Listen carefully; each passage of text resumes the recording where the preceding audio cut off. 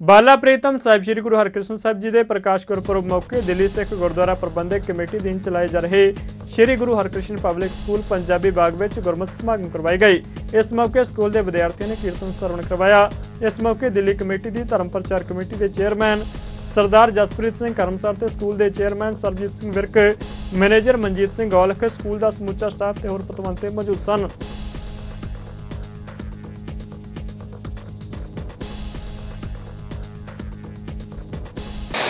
ਅੱਜ ਦਿੱਲੀ ਸਿੱਖ ਗੁਰਦੁਆਰਾ ਪ੍ਰਬੰਧਕ ਕਮੇਟੀ ਵੱਲੋਂ ਜੋ ਸਕੂਲ ਅਦਾਰੇ ਚਲਾਏ ਜਾਂਦੇ ਨੇ, ਪੰਜਾਬੀ ਬਾਗ ਗੁਰੂ ਹਰਕ੍ਰਿਸ਼ਨ ਪਬਲਿਕ ਸਕੂਲ ਦੇ ਵਿੱਚ ਸਾਹਿਬ ਸ੍ਰੀ ਗੁਰੂ ਹਰਕ੍ਰਿਸ਼ਨ ਪਾਤਸ਼ਾਹ ਦਾ ਪ੍ਰਕਾਸ਼ ਦਿਹਾੜਾ ਮਨਾਇਆ ਗਿਆ।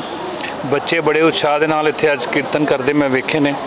ਕਿਸੇ ਵੀ ਕੌਮ ਨੇ ਆਪਣੀ ਪ੍ਰਫੁੱਲਤਾ ਵਾਸਤੇ ਆਪਣੇ ਐਜੂਕੇਸ਼ਨ ਸਿਸਟਮ ਦੇ ਲਈ ਸਕੂਲ ਚਲਾਏ ਹੁੰਦੇ ਨੇ। ਇਸੇ ਤਰ੍ਹਾਂ ਸਿੱਖ ਕੌਮ ਨੇ ਵੀ ਜੋ ਉਹਨਾਂ ਦੇ ਸਕੂਲ ਚੱਲਦੇ ਪਏ ਨੇ, ਗੁਰੂ ਹਰਕ੍ਰਿਸ਼ਨ ਪਬਲਿਕ ਸਕੂਲ, ਉੱਥੇ ਬੱਚੇ ਜਿੱਥੇ ਦੁਨਿਆਵੀ ਸਿੱਖਿਆ ਲੈਂਦੇ ਨੇ, ਉੱਥੇ ਗੁਰਮਤ ਦੀ ਵਿੱਦਿਆ ਵੀ ਲੈਂਦੇ ਨੇ। ਇਹ ਇਸੇ ਕਰਕੇ ਚਲਾਏ ਜਾਂਦੇ ਨੇ, ਬੱਚੇ ਦੁਨਿਆਵੀ ਸਿੱਖਿਆ ਲੈਣ ਦੇ ਨਾਲ ਨਾਲ ਆਪਣੇ ਧਰਮ ਦੀ ਵੀ ਪੂਰੀ ਨੌਲੇਜ ਰੱਖਣ। ਅੱਜ ਵੇਖ ਕੇ ਬੱਚਿਆਂ ਨੂੰ ਬੜਾ ਮਨ ਖੁਸ਼ ਹੋਇਆ।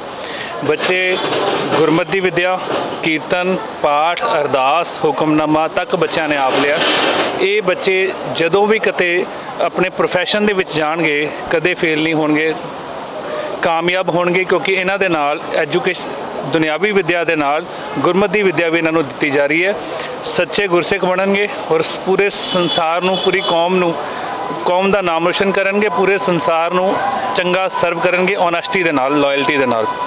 ਹਰ ਸਾਲ ਦੀ ਤਰ੍ਹਾਂ ਅੱਜ ਪੰਜਾਬੀ ਬਾਗ ਸਕੂਲ ਦੇ ਵਿੱਚ ਗੁਰੂ ਹਰਕ੍ਰਿਸ਼ਨ ਸਾਹਿਬ ਜੀ ਦਾ ਆਗਮਨ ਪੁਰਬ ਮਨਾਇਆ ਗਿਆ, ਜਿਹਦੇ ਵਿੱਚ ਬੱਚਿਆਂ ਨੇ ਸਹਿਜ ਪਾਠ ਦੀ ਆਰੰਭਤਾ ਕਰਕੇ ਉਹਦੀ ਸਮਾਪਤੀ ਕੀਤੀ ਔਰ ਉਹਦੇ ਨਾਲ ਨਾਲ ਕੀਰਤਨ, ਸਾਖੀ ਔਰ ਕਥਾ ਵਿਚਾਰਾਂ ਵੀ ਇਹਨਾਂ ਬੱਚਿਆਂ ਦੇ ਆਪਣੇ ਰਾਹੀਂ ਕੀਤੀਆਂ ਨੇ।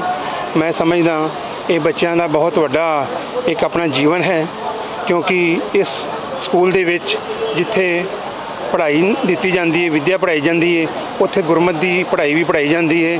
ਮੈਂ ਇਹਨਾਂ ਬੱਚਿਆਂ ਨੂੰ ਵਧਾਈ ਦਿਆਂਗਾ ਕਿ ਜਿੱਥੇ ਵੀ ਇਹ ਜੀਵਨ ਦੇ ਵਿੱਚ ਜਾਣਗੇ, ਆਪਣੇ ਸਕੂਲ ਦਾ ਨਾਮ, ਆਪਣੀ ਕੌਮ ਦਾ ਨਾਮ ਉੱਚਾ ਕਰਨਗੇ। ਅੱਜ ਇਸ ਪ੍ਰੋਗਰਾਮ ਦੇ ਵਿੱਚ ਜਿੱਥੇ ਸਾਡੇ ਦਿੱਲੀ ਸਿੱਖ ਗੁਰਦੁਆਰਾ ਕਮੇਟੀ ਦੇ ਪ੍ਰਧਾਨ ਸਾਹਿਬ ਸਕੱਤਰ ਸਾਹਿਬ ਨਹੀਂ ਪਹੁੰਚ ਸਕੇ। ਉੱਥੇ ਸਾਡੇ ਧਰਮ ਪ੍ਰਚਾਰ ਦੇ ਚੇਅਰਮੈਨ ਸਰਦਾਰ ਜਸਪ੍ਰੀਤ ਸਿੰਘ ਜੀ ਕਰਮਸਰ ਪਹੁੰਚੇ ਨੇ ਔਰ ਉਹਨਾਂ ਦੇ ਨਾਲ ਮੈਂਬਰ ਵੀ ਪਹੁੰਚੇ ਨੇ। ਮੈਂ ਉਹਨਾਂ ਦਾ ਧੰਨਵਾਦ ਕਰਾਂਗਾ। ਵਿਸ਼ੇਸ਼ ਤੌਰ ਤੇ ਕਰਮਸਰ ਜੀ ਦਾ ਧੰਨਵਾਦ ਕਰਾਂਗਾ।